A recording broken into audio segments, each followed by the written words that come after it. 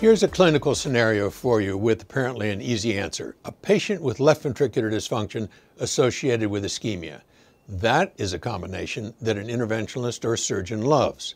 I would bet that almost all of us think that revascularization is the right thing. Fix the ischemia and outcomes will improve. Or will they? Now in JACC is a study that brings that notion into question. Researchers tested the hypothesis that ischemia during stress testing has prognostic value and identifies those patients with coronary disease and left ventricular dysfunction who derive the greatest benefit from coronary artery bypass grafting compared to medical therapy. The patients came from the STITCH trial. Remember the STITCH trial?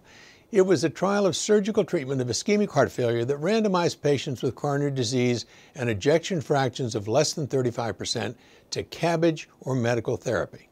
The results, published in the New England Journal in 2009, showed that left ventricular reduction surgery added to coronary artery bypass grafting reduced the LV volume, but the anatomical change was not associated with improvement in symptoms exercise tolerance, or even a reduction in the rate of death or hospitalization for cardiac causes.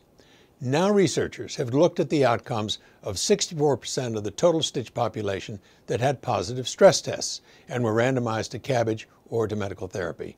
And here's the curious outcome. There was no difference in outcomes between patients with and without ischemia treated with CABG or medical therapy all-cause mortality, cardiovascular mortality, or all-cause mortality plus cardiovascular hospitalization were the same. In short, there was no interaction between ischemia and how it was treated in terms of outcome, medical therapy or revascularization. So what do we learn from this? In coronary disease with severe LV dysfunction, inducible myocardial ischemia does not identify patients with worse prognosis or those with greater benefit from CABG over optimal medical therapy. That is unexpected news for sure. I'm Peter Block, and this is a CardioSource Heart Minute.